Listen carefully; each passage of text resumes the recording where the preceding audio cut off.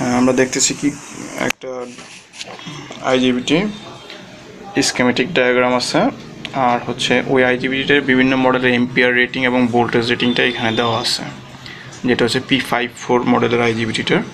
তো আমরা এই স্কেমেটিক ডায়াগ্রাম অনুযায়ী আমরা আজকে দেখব যে আইজিবিটি টেস্টিং কীভাবে করতে হয়। আচ্ছা আমরা এখন দেখব যে কি করে এই আইজিবিটিটা টেস্ট করা যায়। গেট এবং এখানে যেই ডায়োডগুলো আছে, ওই ডায়োডগুলো তো প্রথমে আমরা আইজিবিটি অংশের মানে ইনভার্টিং অংশের ডায়োডগুলো দেখতেছি। এই ব্ল্যাক লিডটা এখানে ধরলাম, আর কালোটা হচ্ছে ইউ ভি ডব্লিউ তিনটাতেই প্রায় সম পরিমাণ ভ্যালু দেখাচ্ছে আর কি। এখন দেখব যে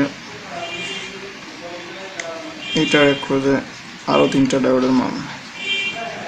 একটা বাদ দিয়ে পরেরটা, তারপরে একটা বাদ দিয়ে পরেরটা। আই ইনভার্টার অংশের ছয়টা ডায়োডে ভালো আছে, এখন হলো রেক্টিফায়ার অংশের ডায়োডগুলো দেখতে হবে। আর রেক্টিফায়ার অংশের ডায়োডগুলো হচ্ছে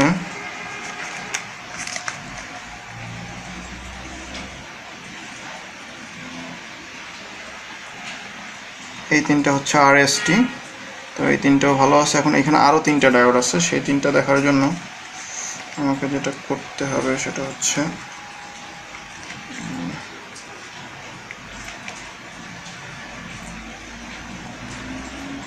পিন নাম্বার পিনগুলো খেয়াল খেয়াল রাখতে হবে যে আমি কোন পিনের সাথে কানেকশনগুলো দিচ্ছি এবং সেটা কি রেড নাকি ব্ল্যাক তাহলে আইজিবিটিটা সহজেই মাপা যাবে। হুম, ঠিক আছে।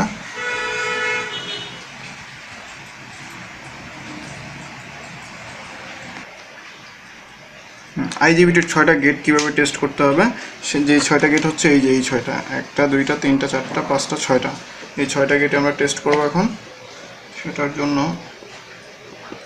এখানে ব্ল্যাক লিড মিটারের আর এই হচ্ছে রেড লিড ধরে এই ব্ল্যাক লিড থেকে ব্ল্যাক লিডটা হচ্ছে আইজিবিটির কালেক্টর কালেক্টর থেকে এই যে ইমিটর এই ইমিটর পিনে শর্ট করতে হবে বা টাচ করতে হবে।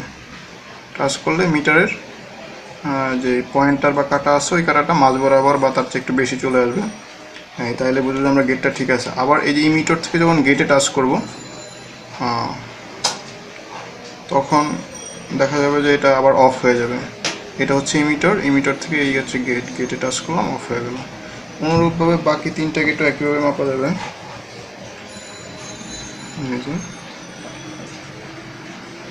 আবার করলাম অফ হয়ে গেল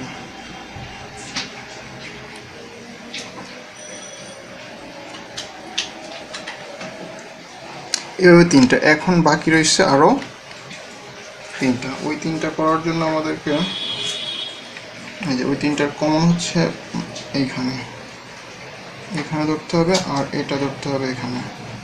ধরার পর এর গেট হচ্ছে একটার পর পর একটা গেট এটা একটা গেট তারপরে হচ্ছে এটা বাদ দিয়ে এটা একটা গেট এটা বাদ দিয়ে এটা একটা গেট আচ্ছা এখন এই ব্লাক থেকে ওই গেট আমার টাচ করতে হবে। ব্লাক হচ্ছে কালেক্টর ওই গেটের আইজিবিটির জন্য। হয়ে গেছে, এখন আবার রেডটা থেকে টাচ করলে অফ হয়ে যাবে। এখন একটা বাদ দিয়ে তার পরেরটাতে যেতে হবে। তাহলে আমার আইজিবিটিও পরের অংশ চলে যেতে হবে। ঠিক। এভাবে এটা ধরতে হবে তার একটা বাদ দিয়ে পরেরটা। খেয়াল রাখতে হবে আইজিবিটি মিটারের পিন বা পয়েন্টার যেন লিড যেন অন্য পিনে না লাগে। এটা একটু সাবধানতা অবলম্বন করতে হবে তাইলে হয়ে যাবে। এই যে হয়ে গেছে এখন আবার ধরলে অফ হয়ে যাবে। তো এইভাবে আইজিবিটির গেটগুলো টেস্ট করতে হয়।